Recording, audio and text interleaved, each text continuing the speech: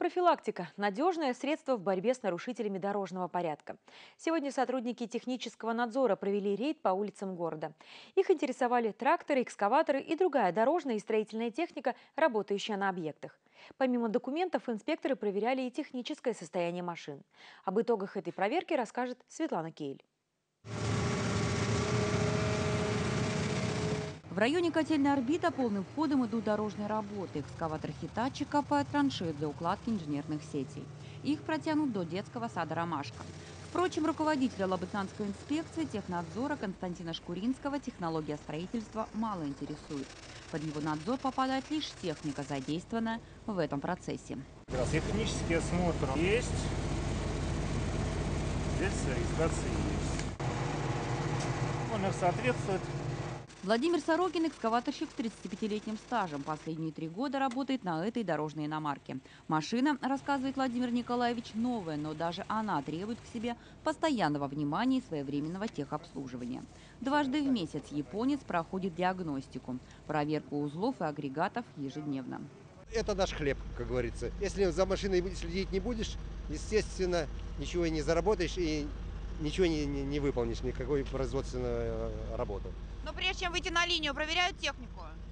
На, на линию? Да. Это ежесменное техническое обслуживание проводится э, обязательное. Проверка, соответственно, всех агрегатов, узлов, э, масла и все это, охлаждающие жидкости. Это обязательно.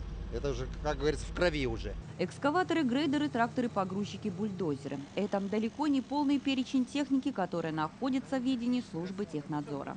На сегодняшний день в инспекции зарегистрированы 1274 единицы спецтранспорта.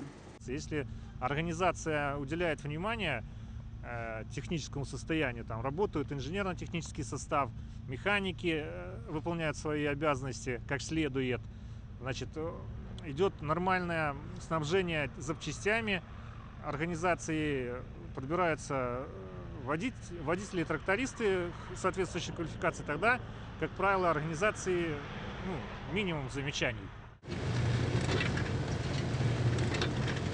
В городском хозяйстве эта снегоуборочная машина появилась два года назад, рассказывает механизатор Александр Кондратьев. Ее производительность 100 кубометров снега в час.